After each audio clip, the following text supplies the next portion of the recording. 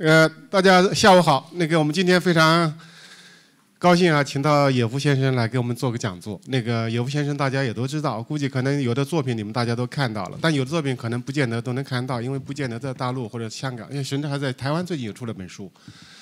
这个野夫先生是，我是对他已经是早就这个听到这个名字了，但是确实今天也是第一次见，一见如故。我们觉得就是在这个因为同一个时代的生长。呃，虽然背景呃经历有所不同，但是在对很多的事呃过问题啊都有相同的感触。呃，他是一位大家也知道非常优秀的作家、诗人、散文家。这个二零零九年的时候，北京呃这个当代语言研究所呃授予这个对对他汉语的这种杰出的贡献奖，给他一个非常高的评价，对他本人也做出了很高的评价。呃，然后呢，当然也有很多些著名的这个作家。包括张颖和女士啊，对对她也可以高度评价。讲到说，有的作家，有的这个人是可能是他的文字就有点像扮演天使，但是野夫先生的这个文字就有点像扮演是魔鬼。这个当当然里面有很多的一些内涵在考虑。我最崇拜或者欣赏野夫先生的，不只是他的文字和小说，或者对这个文化的理解，包括他的古文的功底。我我我作为一个媒体人，对他的最大的欣赏是他对社会的关注。汶川大地震之后，投入到这个后期的建设当中，并且帮助当地的一些村民，呃，做了很多的事情，包括去改善他们的文化生活，相当多。后来也因此就做了很多社会调查。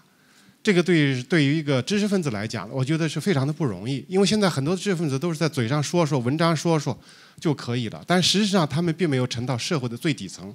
去了解真正的了解这个社会，然后从了解过程当中来分析自己这个社会所面对的一些问题，提出自己的一些看法和建议。这点的话，就实际上就跟今天的题目非常的契合。文学者、写作者啊，包括批评者，他本身他也需要一个实践，实践的过程当中还要继续的观察。所以今天的题目叫做“从践行到见证”。践行，刚才我已经讲到了，就是在二零。零八年汶川大地震之后，他所参与的社会的一些活动，对社会所做出的贡献，这个就践行。后来作为一个观察者或者是说见证者，实际上又提到一个很更高的一个层次。我不只是在做，而且在观察，我要提出我的见解。那今天我们就非常高兴，就是这个请野夫先生谈谈这个作为一个自由作家的十年。在他开场之前，我请他呢，呃，对两个概念。呃，做出一个解释，一个什么叫自由作家？为什么讲十年？啊，现在大家用掌声来欢迎他做出解释。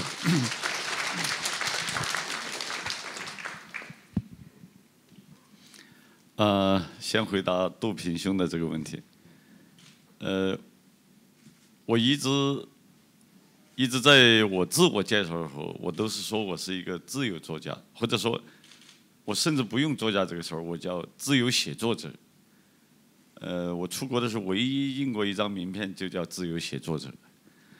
呃，我给他赋予的一个自我的定义是：首先，自由是，我是一个自由主义立场，或者说我信奉自由主义这样一种理念的一个作家，一个写作者。呃，第二呢，我是一个。完全在体制外生活的，呃，完全不依附于，既不依附于体制，也不依附于国内外任何一个组织或者一个基金会。我是一个完完全全的只属于自己、为自己写作、靠自己的写作生活的人。呃，关于自由作作家这个定义，我我给自己的就是这样一种定义。还有第三个就是。我的写作完全不考虑，呃，没有任何戒律，就是说我从来没写，在我写任何一篇文章的时候，我从来没去想，它会不会发表，会不会出版，呃，对我来说，我心里怎么想的，我想说什么，我想表达什么，我都完全自由尽兴的去表达。至于说。在这个时代能不能出版，对我来说都意义不大。我相信好的东西一定可以长驻名山，待之来世。所以关于自由写作者的这个定义，我是这么给自己定义的。为什么我今天要讲的是我这样一个自由写作者的十年？啊，今天真是一个很特殊的日子啊！呃，今天刚好是我五十六岁的生日，啊，谢啊，这完全是一个巧合，这完全是一个巧合。江勋兄的邀请我，安排我在今天这做这样一个讲座。我今年五十六岁，也就是说我的人生已经过去了一大半了。我这十年，十年前我四十六岁的时候。我四十六岁的时候，还很少被人知道。虽然我，虽然我在八十年代也算是湖北的一个诗人，啊，虽然也是武大作家班毕业的，但是在我四十六岁以前，只有很少一部分人知道我是一个写作者。那个时候，呃，就说还没有出任何一本书。我到四十六岁的时候，一本书都还没出版过。呃，四十六岁的时候，我还穷得叮当响，就是没有没有职业，没有那个房屋，啊，没有家庭，啊，那个还有犯罪记录，啊，就是是这样一个人。四十六岁那一年，中国发生了一个非常重要的事情，就是五幺二汶川大地震。正好在那个地震之前十天，我到了四川的重灾区。我去本身是去做一个社会调查，结果在那个地方呢遭遇了啊大地震，而且我所在的地区也是重灾区。啊，地震的那种真正的惨象，我是亲历者，我也是见证者。啊，我我距离地震最重的那个呃一个镇叫汉旺镇，大家凡是知道十年前那场大地震，就知道汉旺镇是一个像被原子弹轰炸了的一个工业小镇。我距离我住的地方距离他那儿只有半个小时的路程，因为那场灾难太来的太突然，也太惨烈。呃，我作为一个本来是做农村调查的一个写作者，而且是我自己兴趣的，不是不是被安排的。按说我应该很快的撤离出灾区。因为这个还会有余震，还会有各种瘟疫的可能，很多人都是纷纷的逃亡。呃，我当时选择了留下来。我觉得我应该，就像历史给我选择了一个特别巧的一个在场的机会。我既然与这场灾难不不期而遇。我就应该记录下这一切，于是我选择留下来，在在我所在的那个县里面，帮助他们一起参与抗震救灾，参与灾后重建。那那个时候啊，我为什么要这样做呀？四十六岁的我，是一个两个大学的毕业生，是一个曾经。在体制内的核心部门工作过的人，是一个经历了辞职、经历了入狱、刑满释放，然后自己完全又经历了当书商、做出版等等这些各种稀奇八怪的命运之后，但是我依旧还是一个四十六六岁的我，依旧还是一个改良主义者，我依旧认为。我的祖国是需要改良的，是还有改良的机会和可能的。我愿意以一个我们说一介布衣之身，去亲身参与这场改。良主义运动。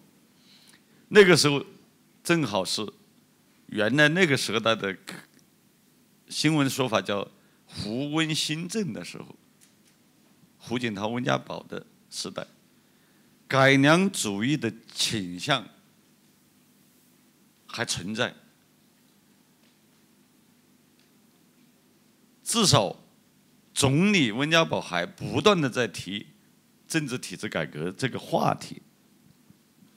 至少，胡锦涛总书记还在提科学发展观，提不折腾，这样一些在我们民间看来比较人性化的话题。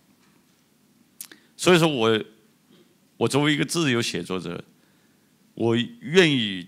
去参与这样，在尤其在一场大灾难之后，无论出于人道主义立场也好，还是出于人本主义的角度也好，我愿意以贡献自己的一点心力。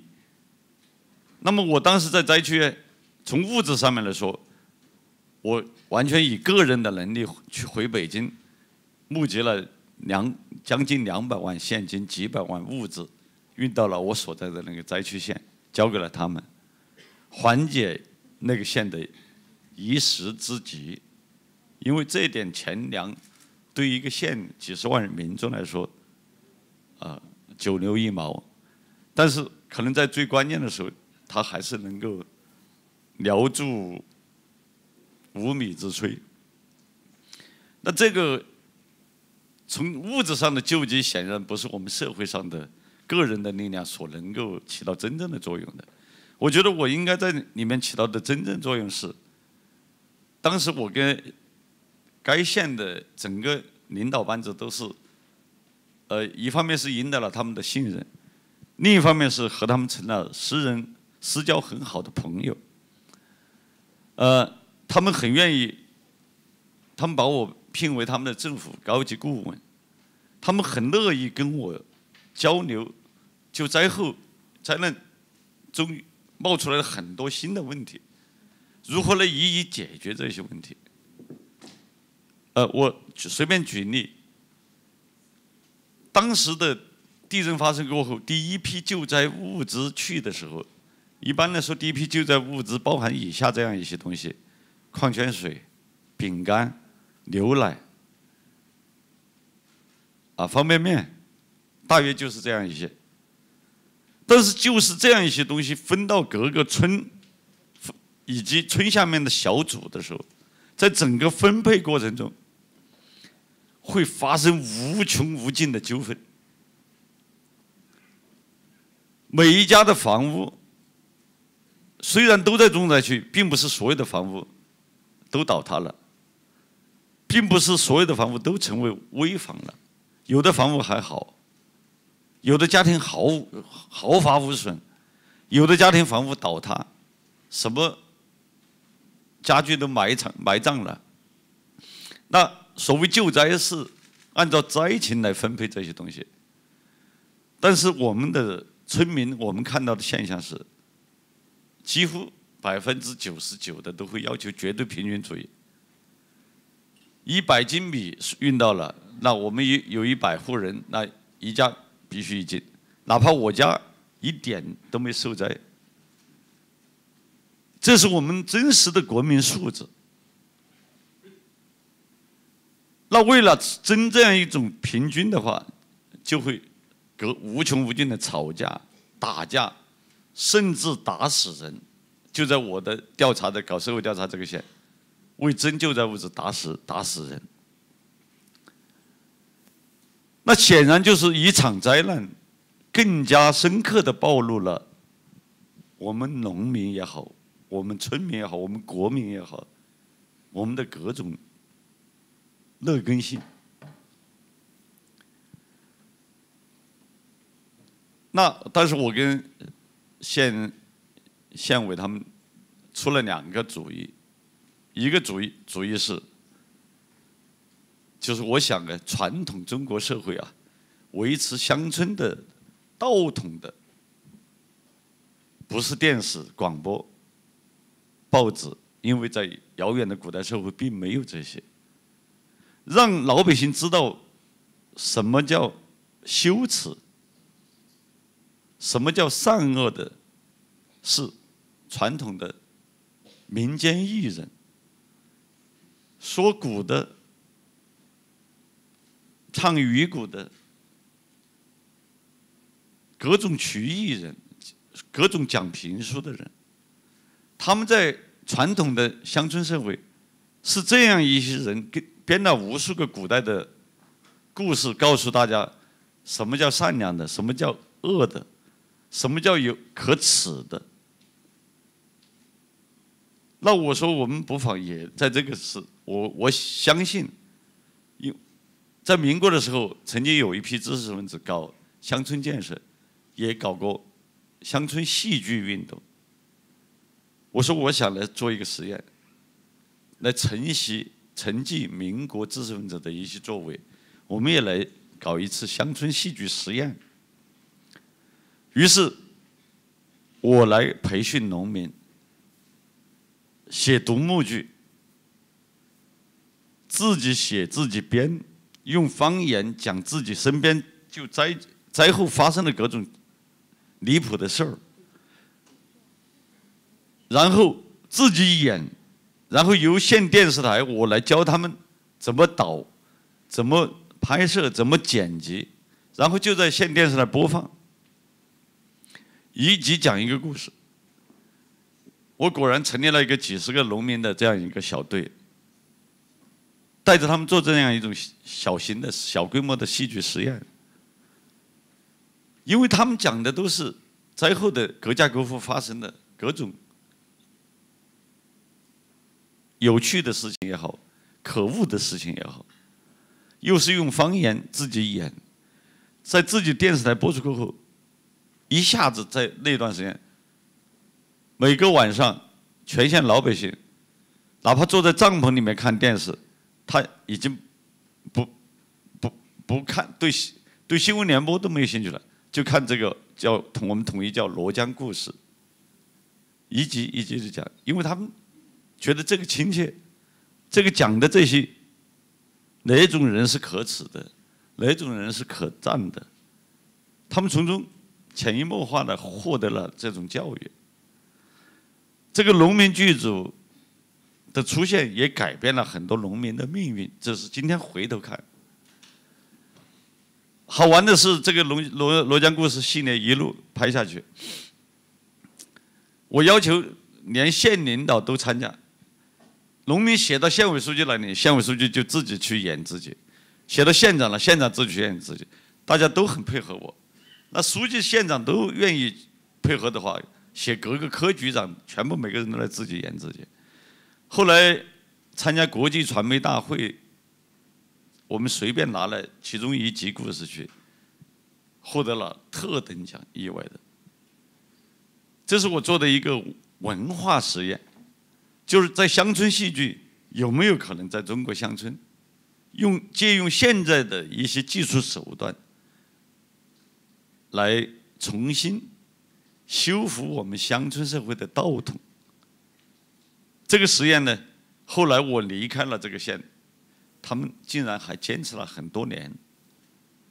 可能到现在为止，他们做了二三十个故事。至于现在还有没有做下去，我就不太了解了。这是一个文化实验。第二个实验呢是乡村自治实验。我们如果对中国社会政治有所了解的话，那大家知道我们的所谓的海选、直选，只到村一级，就是说，村长，各个各全国各地的村长是必须直选、海选的，就是说我们的，但是这个选举实际是一种。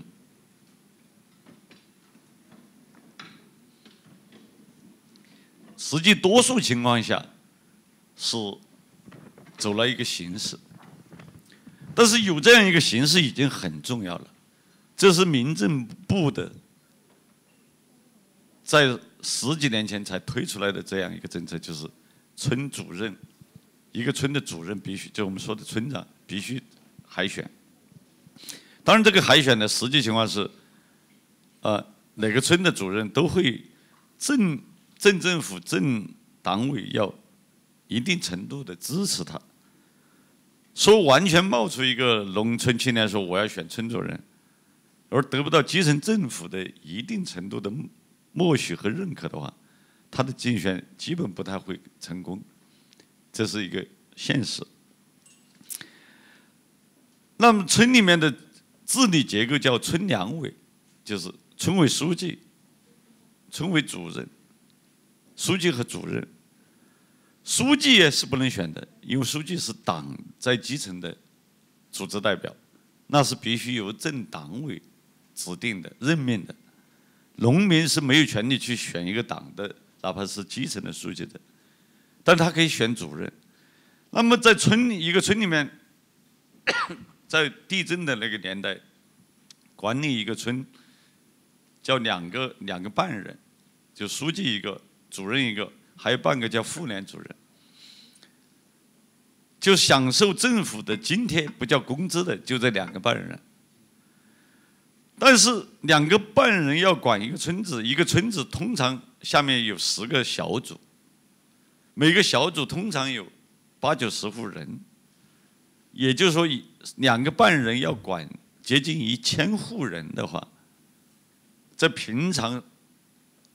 太平盛世没没问题，因为乡村现在已经没有派捐派税的啊强行征收啊啊那些事儿了。平时没有太多他们需要他们管的事儿，但是，一旦到了一个大地震灾难的时候，两个半人根本无法管理这件事情，因为太忙了。光这两个半人，要把各全国各地发来分到县里面，县里面分到各个镇，镇里面分到各个村，光把这些物资从上面一点一点搬回村子里面，再分下分到各个小组，基本都不太可能。光完成这个任务都不可能，还不要说各个乡村矛盾。那因此。涉及到救灾物物资的是每个老百姓最敏感的一件事情。那每每个老百姓都会在那一刻怀疑这村村两委这几个人，你会不会给你的三亲六戚分的多了，给我们分少了？你在中间搞没搞阴谋诡计？因此，村两委成了基层矛盾的焦点，成了。老百姓随时要打要杀的对象，那这个基层民主又是选上来的主任，依旧不被村民所信任，这个怎么来解决这个问题？我们大陆中国人总爱说，我们的农民素质不高，他们是不配搞民主的。他们一定要搞，要用专制的手段来管理。那我我是一个特别热衷于做社会实践的人，就是我想证明一下农民到底有没有自治的能力。于是我跟常委会上我提了一个建议，我说拿一，因为当时全县的各个村矛盾都急剧恶劣。我说你们哪一个村子来给我做实验？我们不违背现行的一切的你们的法律法规，在这个基础上，我们来做个实验，看能不能解决乡村矛盾。他们说好啊，你做实验吧。那我说，在这个村两委这两个半人，就书记主任加妇联主任这两个半人。只作为村里面公共事务的召集者和执行者，而不能作为决策者。那谁来做决策者呢？我说，村里面十个小组，每个小组选两个议员，我们叫农民议员，村民议员，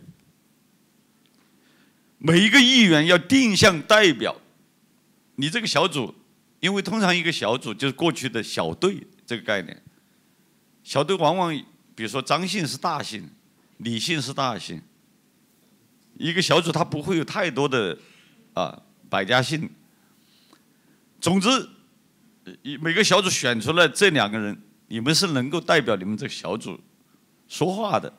你们在这个小组是有公信力的，你们做出的决定，你们的本小组是必须要服从的。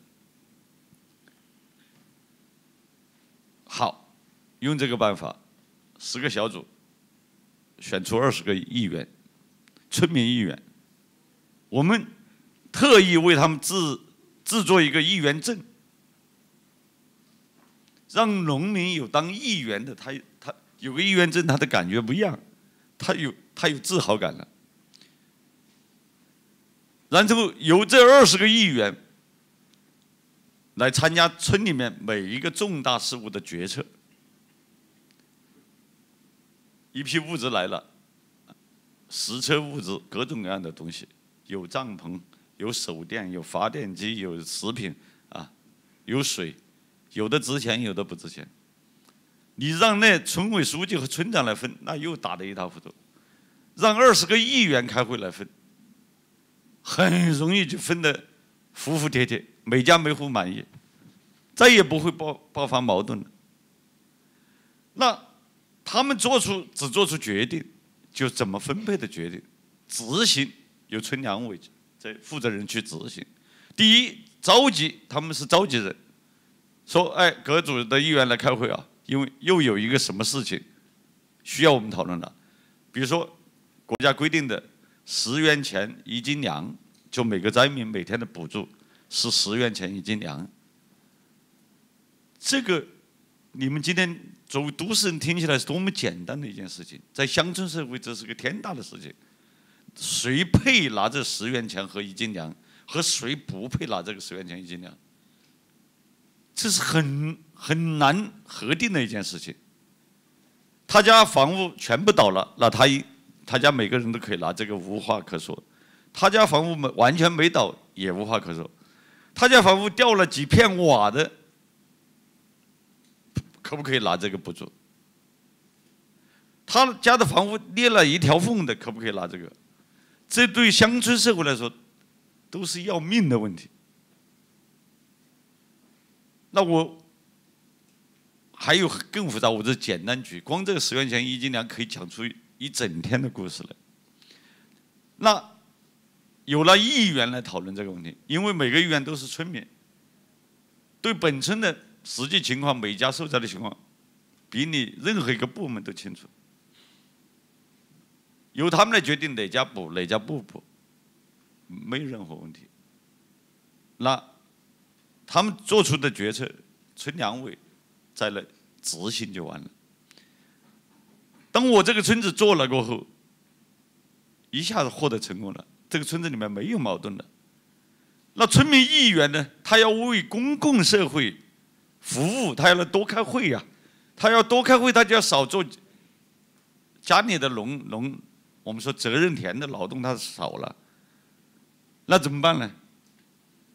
我。不是募集了一两百万现金吗？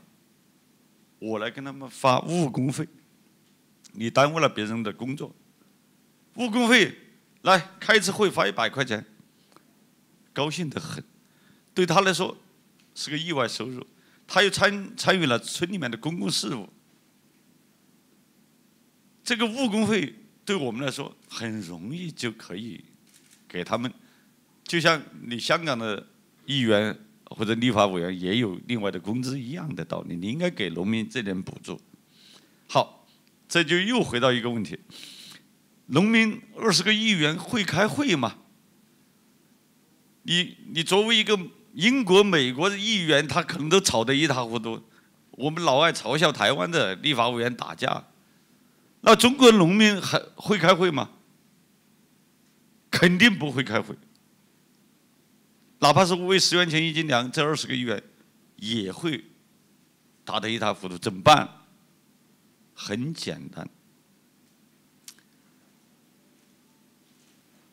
大家都知道国际上著名的这个书罗伯特意识规则。罗伯特意识规则是针对一个成熟的文明的社会制制造出来的这样的规律。讲的太复杂中国农民听不懂。听不懂怎么办？不讲那么多。我们搞罗伯特意识规则的速成的十九条，只抽出十九条来，这十九条。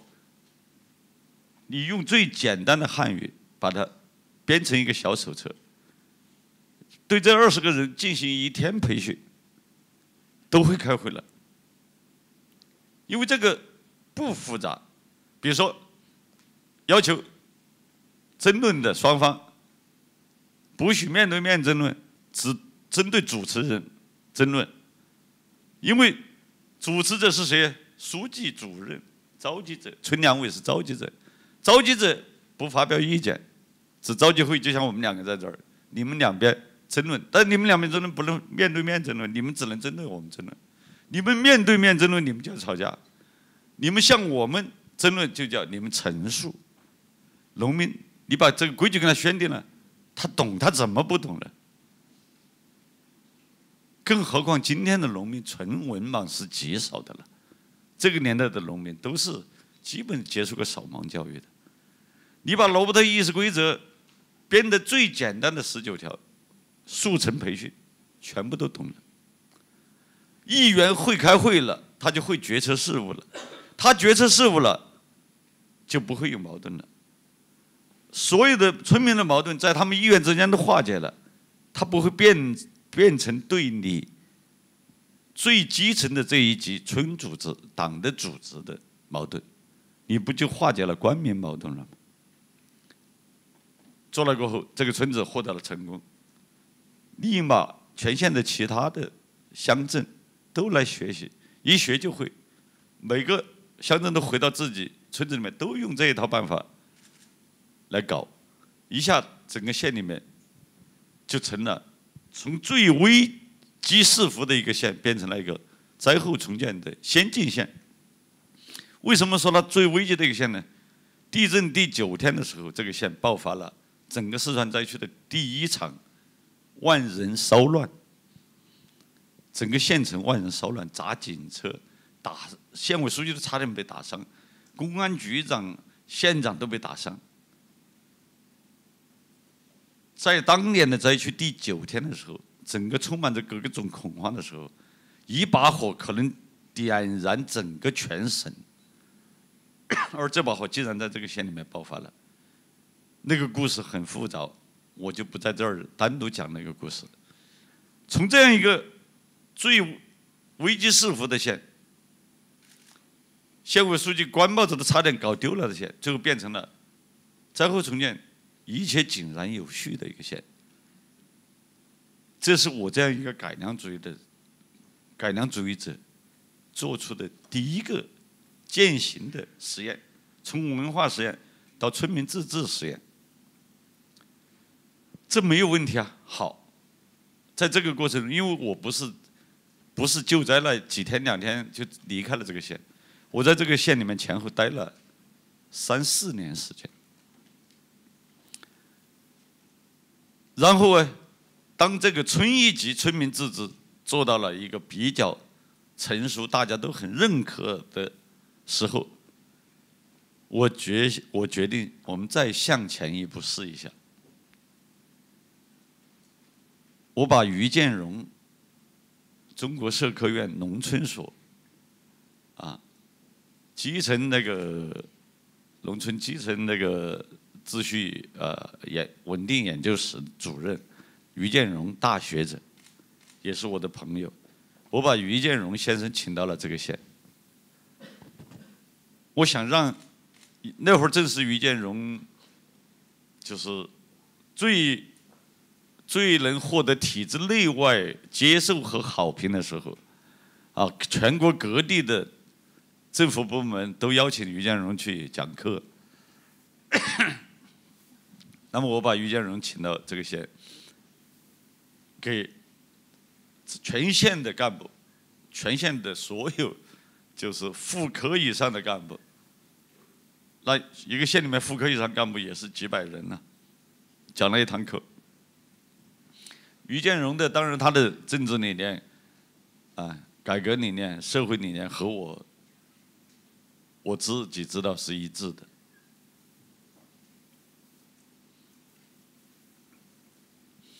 我们都希望这个社会用最小的代价完成它的改良，完成它的转型。这是我们的这一代人，我们六零后这一代人的基本政治理想。那于建荣的在这儿来的演讲，在这个现场演讲，可以说一下子深入关心，不是不是深入民心的，老百姓还没机会听，深入关心，所有的官员都觉得于建荣讲的挺好的，所有的基层官员其实心里对自己体制的弊端，比外人清楚的多，比老百姓清楚的多。当于建荣讲完了，获得了大家一致好评，然后我和于建荣来策划，策划一个方案，做什么呢？大陆不是有人大代表吗？但是我们大陆的人大代表是没有一个是专职的。诸位年龄大的或者对中国社会有了解的，应该知道。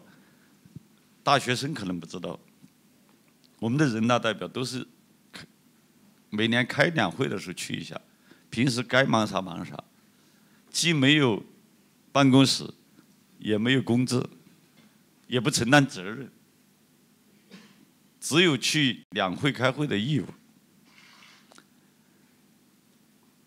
那我们人大代表不可能像香港的议员这样的。专职完全的专职化，那我们能不能是搞部分的专职化实验呢？一个乡镇有几十个人大代表，我们说的县人大代表这一级啊，每个乡镇一个县十个乡镇，每个乡镇有二三十个人大代表参加全县的人大代表会议，那。这里面每个乡镇能不能先选两个人大代表做专职人大代表？我们跟县委整个常委班子探讨这件事情。按照《中华人民共和国人大代表法》，没有没有任何一个条文规定说不许这样做，法无禁止，那我就可以实验了。县委四大班子一听，也觉得有道理，也觉得有道理，因为觉得有道理，那么我和建荣就到北京请了，全部是体制内的学者，除我一个人是体制外的身份以外，其他的全部是中央党校、国家行政学院，啊，马马克思主义学院。啊，全国人大常委会都是社科院的，全部是体制内的学者，但是有一个共同的特征是，全部是体制内研究体改的、研究体制改革的、研究政改的这一批学者。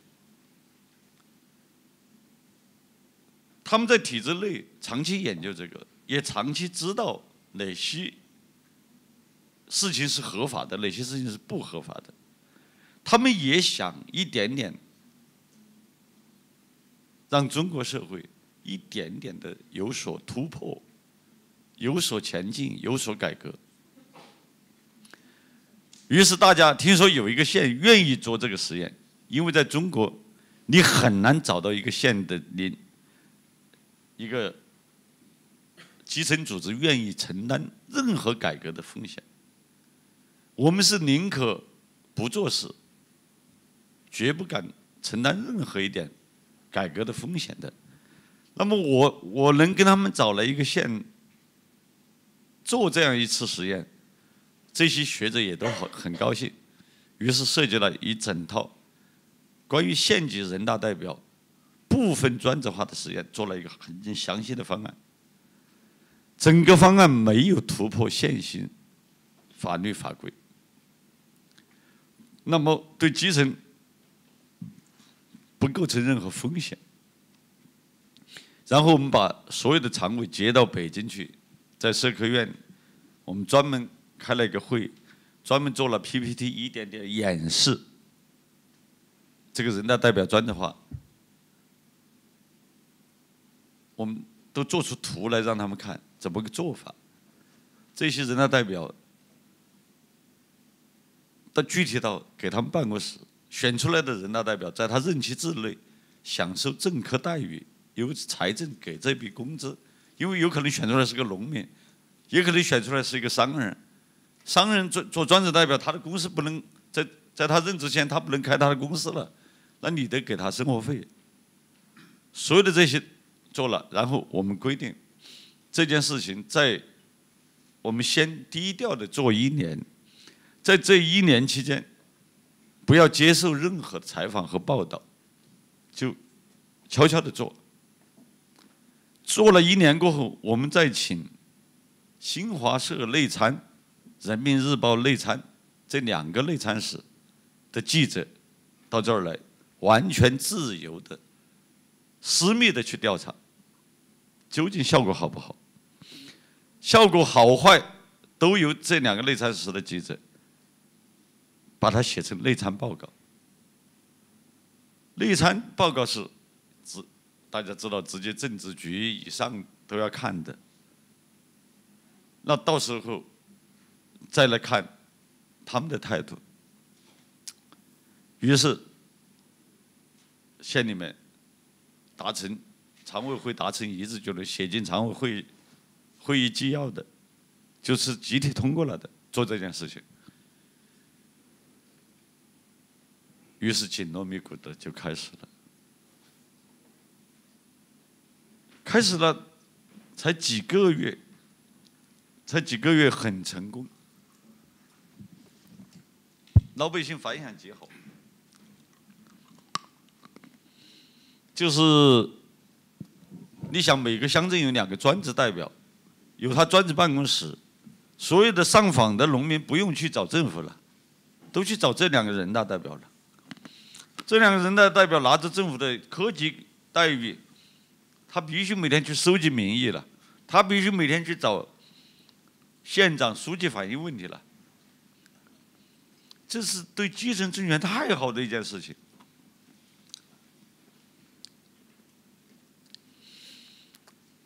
到第四个月的时候，还是低调的进行了，然后四川日报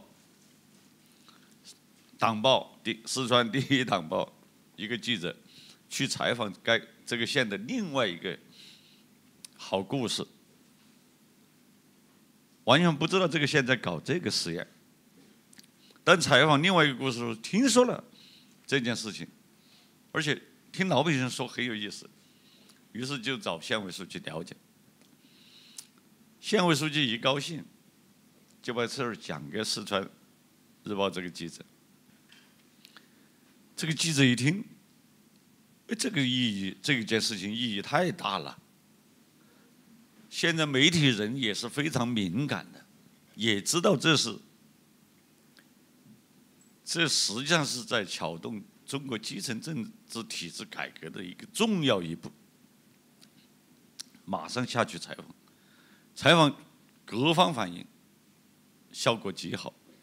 于是回到四川日报，就写了一篇通讯。正面报道这个县的人大代表专职化，这个消息一出来，全国各地一大批敏感的记者，《南方周末》啊，《南方都市报》啊，全所有敏感的媒体，几十家媒体立马都赶到这个县来采访，都是正面报道。然后中央电视台。东方时空，怕，来跟县委书记录节节节目录制好了，也是正面，因为都是先调查好了，确实做得好，而且都意识到这是中国改革的到现这一个局面层面的一个最重要的一步。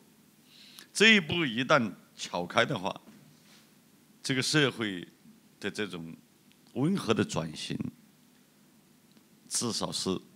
有望的。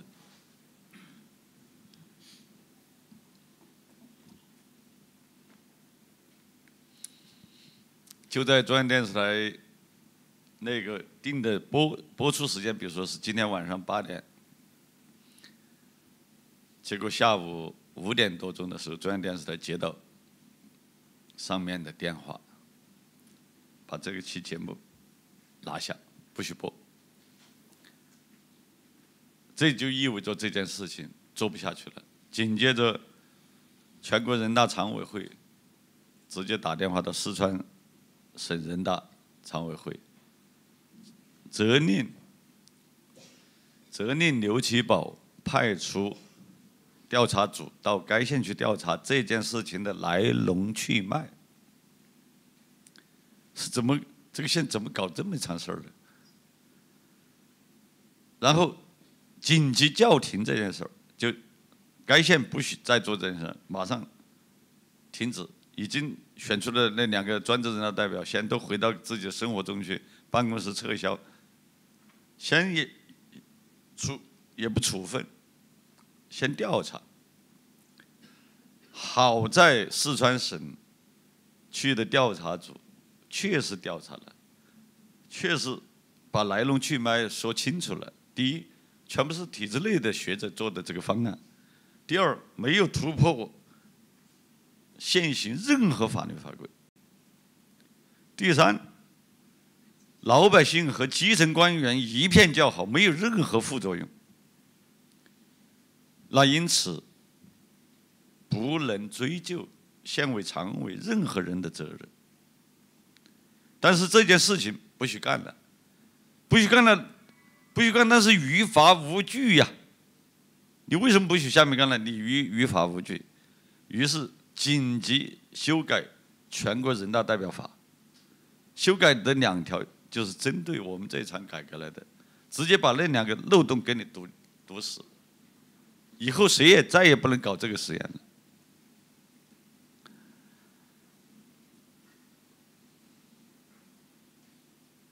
呃。很好玩的时候，这个县很好玩的事情是，这个县委书记被评为了被什么新浪网啊，当年的十大媒体评为了，呃，当年的十大改革人物，但是一个悲剧性的改革人物，就这样停下了。我在这个县里面进出几年，跟老百姓、跟官员都成了很好的朋友。也做了这样的文化实验、村民自治实验以及基层政改实验，这就是我一个写作者参与做践行者的一点点事情。这几年呢，给我留下的留下了这样一本书，叫。大地呻吟，副标题叫《中国基层政权运作现状的观察与优势》，是台湾南方家园出版社出版的。呃，在今天的那个呃呃书展现场的一楼 A 三十二摊位还有销售，大家有兴趣了解这本书的话，去看看。这就是我。在这个县里面做的社会学意义上的一个田野调查报告集。这本书谈到这本书，我顺便讲一下。今年是地震的十年，第十年了。这本从地震发生那一刻开始写的书，啊，其实，在大陆，其中的每一篇文章都是独立成篇的，每一篇文章都在大陆的。很很好的杂志上面发表过的，然后大陆三联书店，呃，著名的编辑叫吴斌，就是原来《读书》杂志的主编，啊，吴祖光的侄女儿，专门约了这个书稿要在三联书店出版。三联书店跟我签了一个很重要的合同，就是作为三联书店的重点书推出，啊，给了很好的条件，因为三联书店。出书是很保守的一家出版社，啊，基本开机都三千册、五千册一印的，给了我一个非常好的条件。然后他们签了这个书过后，吴斌的原话说的是，比所有写搞三农研究、农村农业农民研究的学者，比所有三农学者写的关于农村的书。都能让人看得懂，都能让人读得进去的一本书。然后哎，很好玩的是，这个书副主编审、主编审都说好，社长又亲自写是，也说好，没有任何问题。社长又要求我所在的这个县的必须开出证明。证明我写的是真实的，而且是得到了地方党政认可的。于是，这个县又给了我盖了印，啊，写了写了专门的审稿报告，而且是坚决支持这本书在中国出版。就是这样的情况下，社长还是不放心，说，因为三联书店属于中国出版集团。说交给中国出版集团时，中国出版集团又审稿，审稿也认为这个书书稿没有任何问题，但是依旧不愿承担一点点风险，说建议请当代中国研究史审稿。这个当代中国研究史属于社科院下面当年邓丽群成立的一个很左的一个研究室，凡是研究当代中国的呃文章啊、学术报告啊，当没有各个单位院没有任何一个战线院审的时候，就交给他们审，交给他们审的基本都枪毙。后来三联书店一想，与其与其交给他们审，直接判死刑，还不如把这个书稿先压下来，放着，一放就放到了十年后的今天。十年后今天，我这个书的大陆版依旧没有出。呃，这是一本书和一个人的命运。那有了这样一场社会实践，作为一个践行者。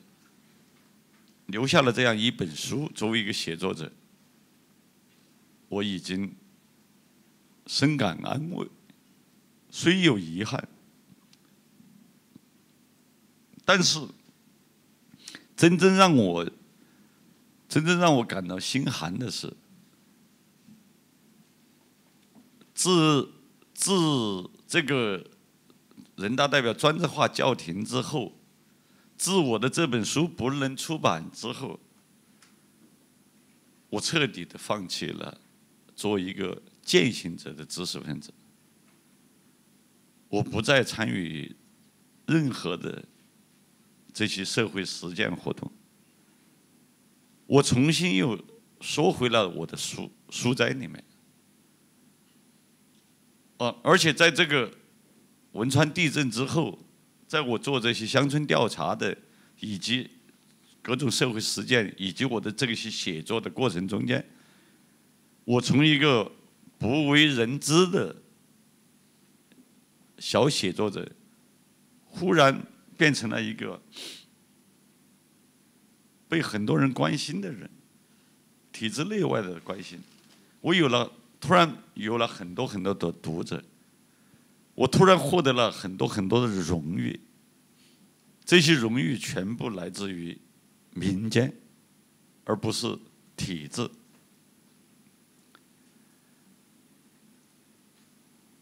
我忽然的莫名其妙的连续几年成为了我也不知道是哪哪些评的，每年有一个百名公共知识分子的名单，我连续几年忽然上了这个名单，也忽然因为这些我自己也搞不清楚的原因，忽然我变成了一个不能出版新书的人，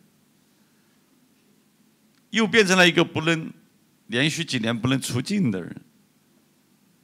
去年的这个书展呢，也邀请过我，今拖了一年，今年我终于了，成功的来了。就是我永远生活在这样一个不确定之中。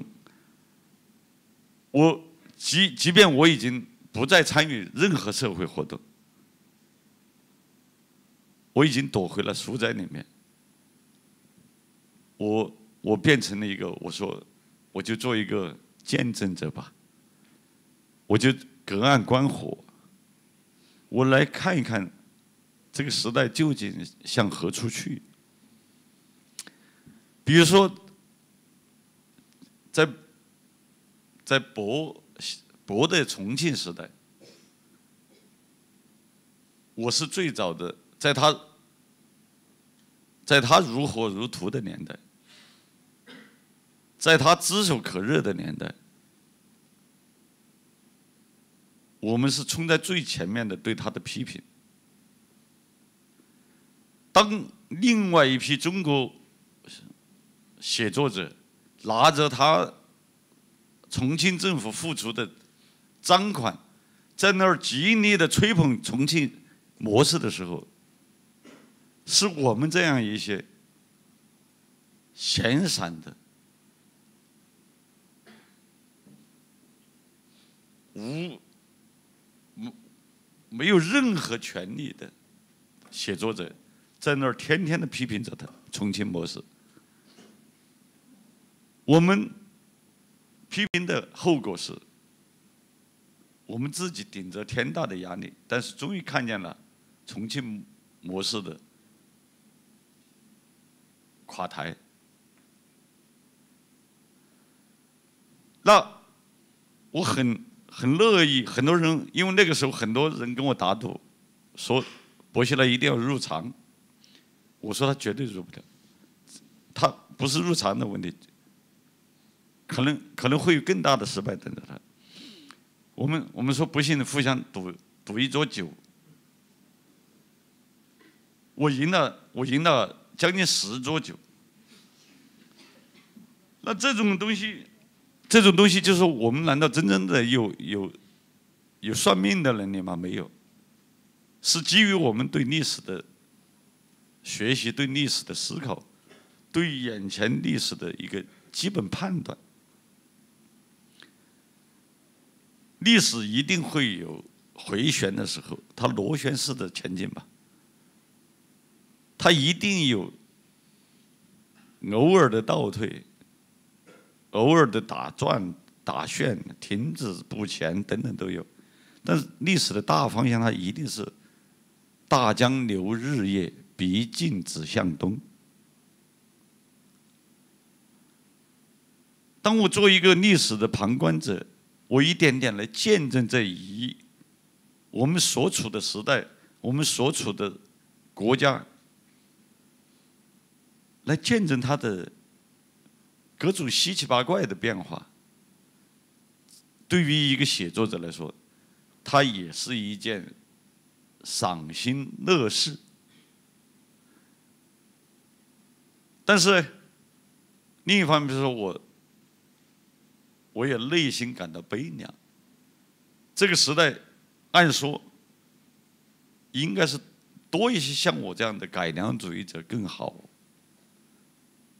我们希望这个社会走得更平稳，一天天走向文明，付出最小的代价。这个代价是官民双方都要付出最小的代价。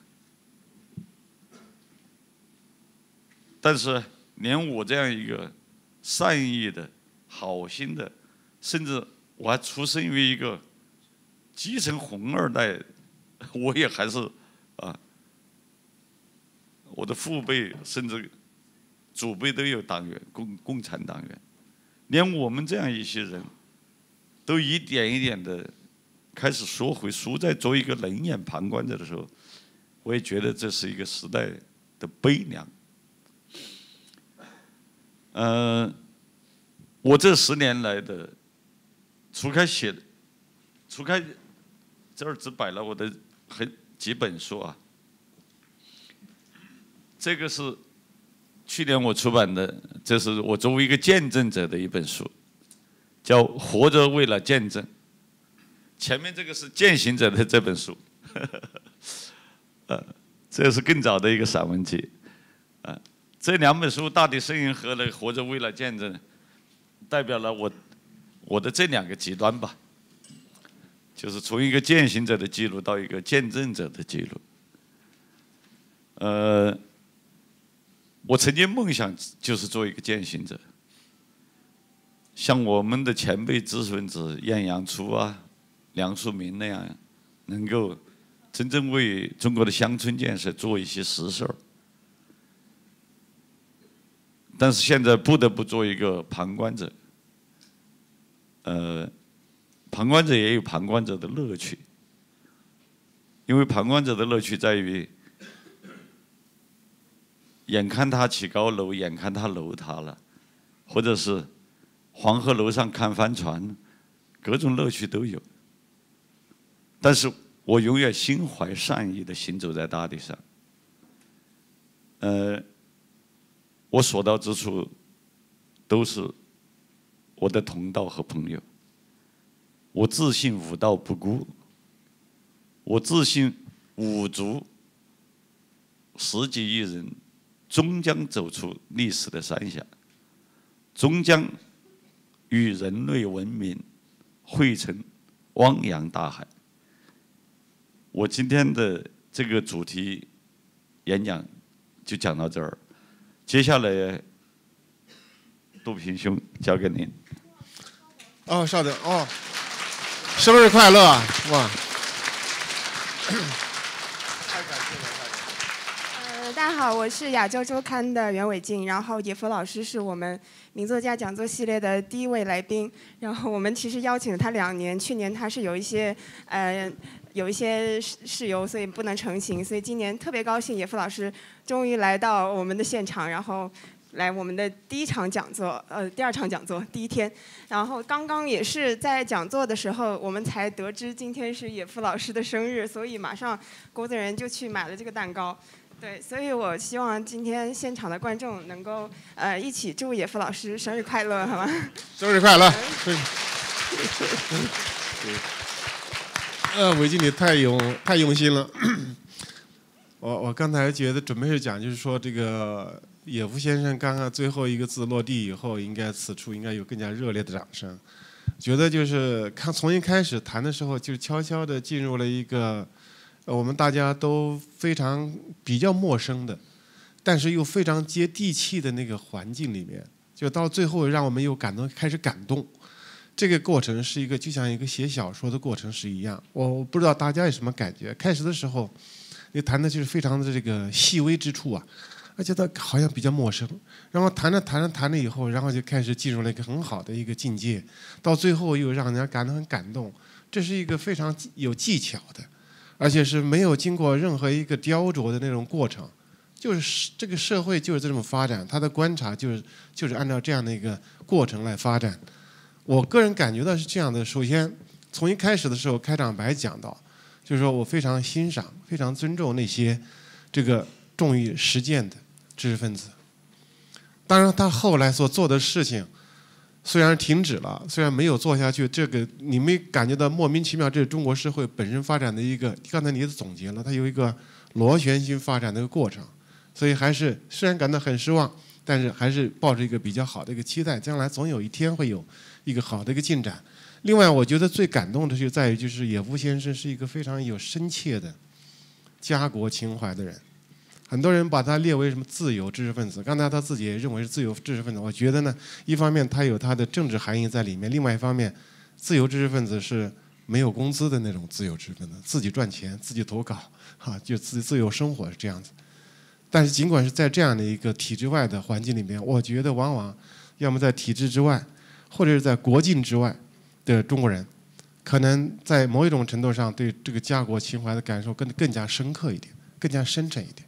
我从这个刚才您的演讲里面，其实有个非常深的感受，当中确实也给我感到一种心心灵的那种震颤。好，下面呢，我们想就是在借用这样一个时间，呃，大家可能有一些问题，呃，请问的野夫先生，呃，这个因为从这个谈话当中，大家估计可能对他的了解更加深入一点，我们现在就开放给大家有提问。那我啊，行，好，你先来，请。张老师生日快乐！我是来自内地的青年，然后首先对您说一声抱歉，因为第一次读到您的相关何处，其实是在五年前我在日本留学的时候，是拿电子书，是一个盗版书读的，但是回到国内之后啊，就买了您的书，而且我很希望您一会儿可以帮我签名，这一个私下的请求。然后呢，嗯，刚刚听到您的关于十年的一个讲的一个内容，我觉得十年在您的作品里也是一个个一个的节点。那么今天可能在座的有像我一样来自内地的青年，也有很多香港本地的青年。我想。嗯，您能不能对我们内地的青年说一些寄语？我们对我们的国家以及我们未来的十年应该怎么样做？我们可以做什么？谢谢。呃，我以前来香港，呃，也接触了香港的大学，很多大学的他们共同成立读书会啊，邀请我的讲座啊。也接触了很多在这儿读书的内地青年以及本土青年。嗯，我想说的啊，和或者说能说的是，是我认为首先是读书。今天我给做陪同我的那个做秘书的，也是香港中文大学的一个学生，也是来自于内地。我跟他说的，我。他陪我看书的，我说你们这几年抓紧时间读这些书。我边在书展上，我一边指着哪些书哪些书，告诉他：我你你大学四年你必须读这些书啊！我说你不读《动物庄园》，不读《一九八四》，你是无法了解我们现在的一些国家形态的。我说你们所处在这样一个城市，还好还有这么多书可以读到。在内地大学生接触到这些书都很困难了，现在要带进带进去一本都很困难。所以说，第一，多读书，抓紧这个时间；第二，其实，在有些大时代面前呢，人力啊，几乎是微不足道的。有时，真是历史是靠一个事形式的事所所转变的。古人说的“非人力，乃天数”。因此，我对年轻人，我很多时候演讲的时候，人们问同样的问题，其实我只说，人在这个时代只需要彼此传递一句真话就可以了。我们是做一个不说假话的人，一定坚持说真话，彼此传递真话，彼此敢说真相。彼此敢倾诉真情，你已经为这个时代做了很多的贡献了。别的不敢要求，人我从不主张人去做圣人英雄。圣人英雄是自只能只能自己赋予自己，不能任何人去期许别人。谢谢你。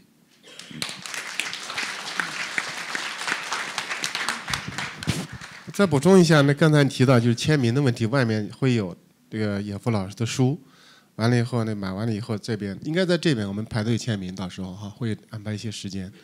那下面还有谁愿意提问题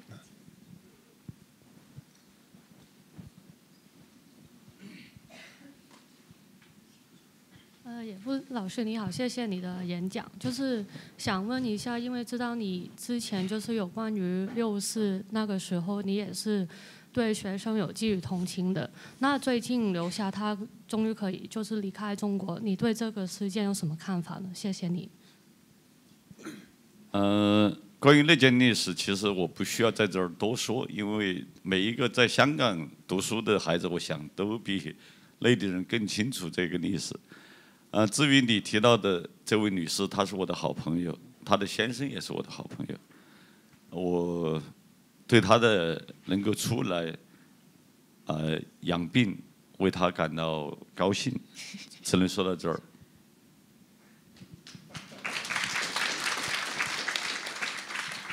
那有问题吗？嗯，最后一个问题，时间的问题是吧？好，那个最后一个问题。哦，那位对。因为我知道您回到湖北利川去了。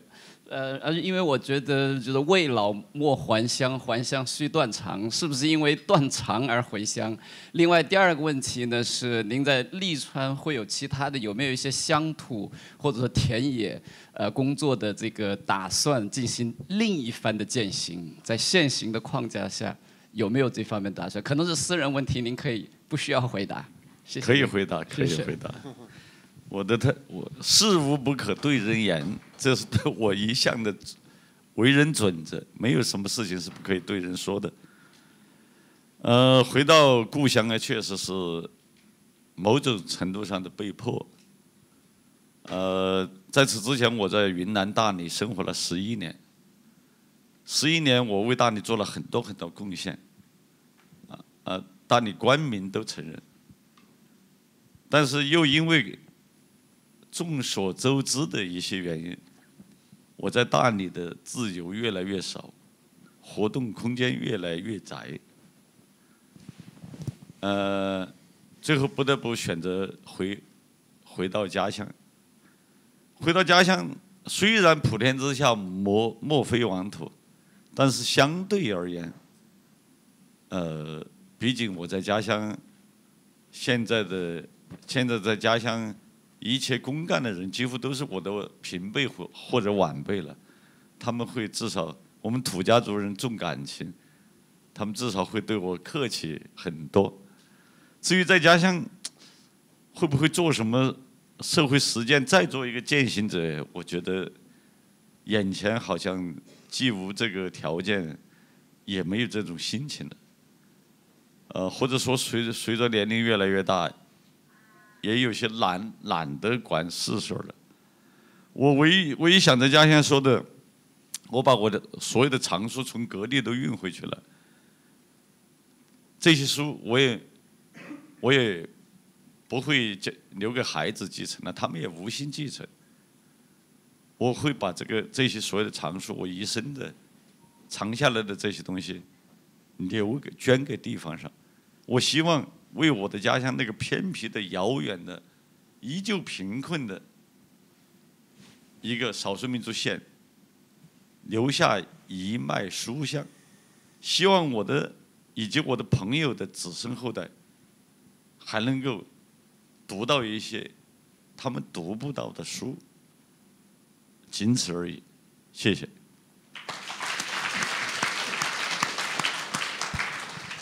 那因为时间快差不多，所以就是这是刚才最后一个问题了。那个我们非常感谢野夫先生给我们对其实上上了一堂课，就是得到就对中国的基层的现实、最低层的现实，就是做了进一步的了解。然后当然也很感谢他分享了那么多的一些个人的智慧或者这个社会的一些见解。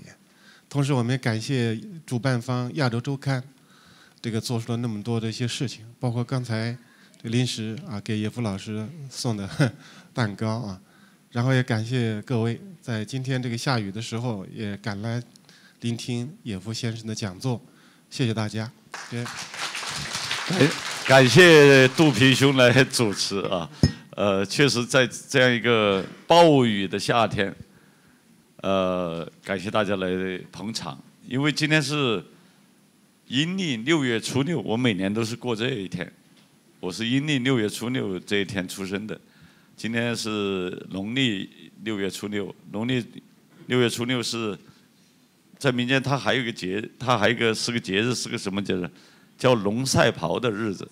就是龙要到这一天来赛灵，所以说民间我们家乡的人都会在这一天，天晴的话，把所有的被子、衣服都拿出来晒一晒。谢谢大家啊。